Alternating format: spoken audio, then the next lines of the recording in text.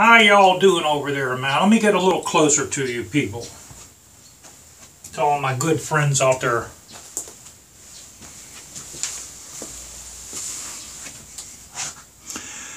How's this? You can see I just got my flu shot. and, um, yeah, I was sick for two days. Got the big dog right in back of me. Let me reposition you guys.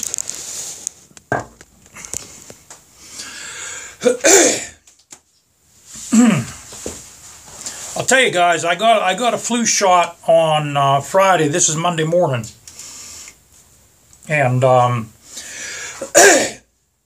I was sick for two days from the flu shot, and I thought I was going to get worse.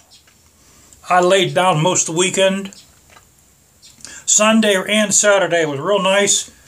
I couldn't take this out. I was sick as a dog. Now it's raining. As you see, my garage leaks. This is soaked.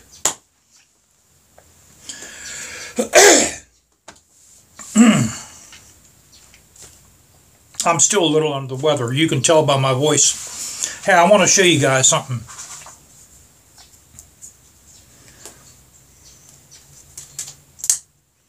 This is one of my switchblades, man. It's all gold, gold blade.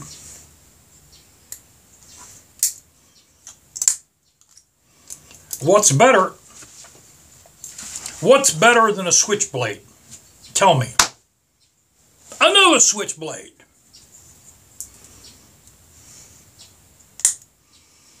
Same thing, but it's rainbow chrome. Now, what's better than two switchblades?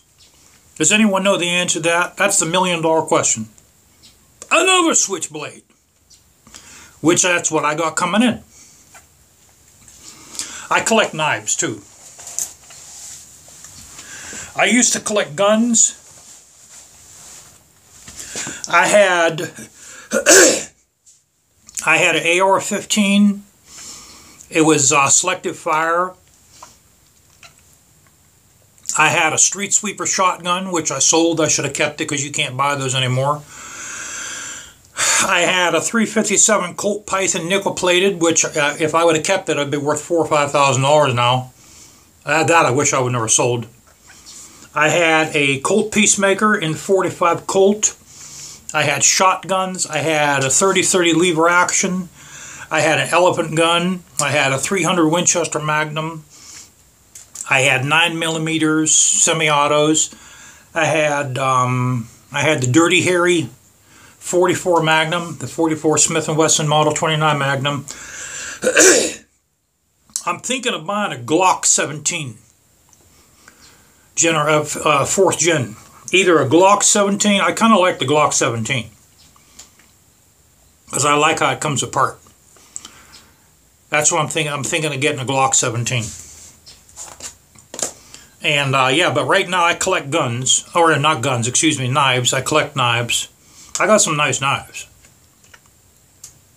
What I want to talk to you guys about is what I'm going to do to that over the winter. You guys know I'm making a tooled leather seat for it, which I'm going to be buying the leather soon. But besides the leather, we're taking the front wheel off because I want to polish the, um, the aluminum wheels. And I think the only way to really polish them is with them off. So I'm taking them off.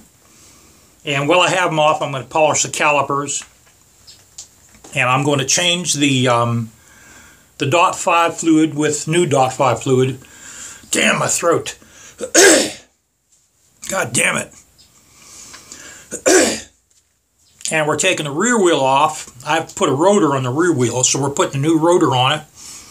Changing the dot 5 fluid for the back. And we're going to polish the caliper and the wheel in the back. tires are brand new. I don't have to replace the tires. So we're doing that, and we're making this the leather seat for it over the winter. And uh, yeah, my garage leaks, leaks like crazy. You can see the, that's all from my roof because I, I need a new roof. What happens is there's a metal beam. See that metal beam up there? Through the valley in my roof, since my roof leaks, the water comes down through the valley, comes through that beam, and comes down here. This, this is like a waterfall when it rains real hard. So I have to, um, I have to put a new roof on my house. Probably next year we're going to put a new roof on it. Because my roof's like 35, 40 years old, you know, so it, it needs replaced big time bad. Big time bad, man. Everything's so the rug is soaked in here now. You know, of course, of course it is. Why not? Right? Why not?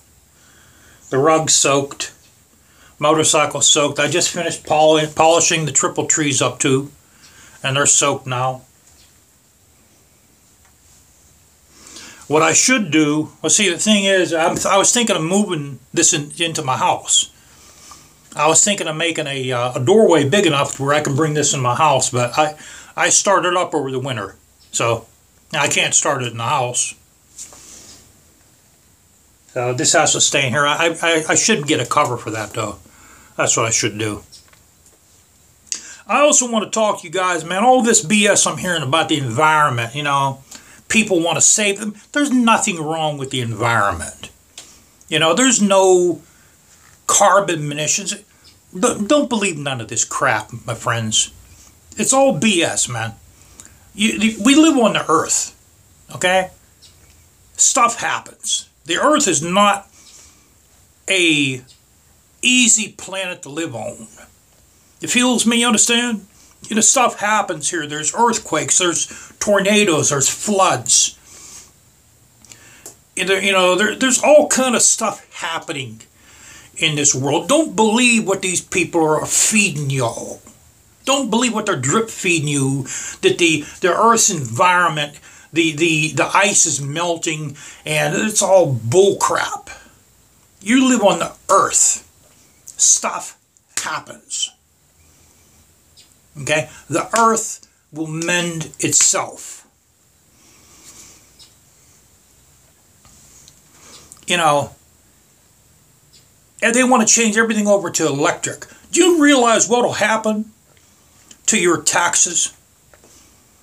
How is the elderly going to afford anything like that? Your taxes will go up so high, you'll have to have electric trucks. Uh, you, your taxes will go up so high, you'd be lucky you can afford to feed yourself. What's going to happen to the elderly? How are they going to survive? Or no one gives a crap about the elderly. Well, guess what? You're going to be the elderly someday, and so will I. But you know, I hear this bull crap every single day on the news about everyone's everyone's staging protests about the environment. Don't believe none of it. Take your spray paint, take your can of spray paint, go outside, empty out that whole damn can into the atmosphere. Start up your motorcycle, burn it extra extra lean on purpose. Take your catalytic converters off your car, make more pollution. They make as much pollution as you possibly can. That's why I love this motorcycle. It gets about five miles to the gallon, and that's on a good day. That's if I take it easy. more gas I burn, the happier I am. Y'all take it easy.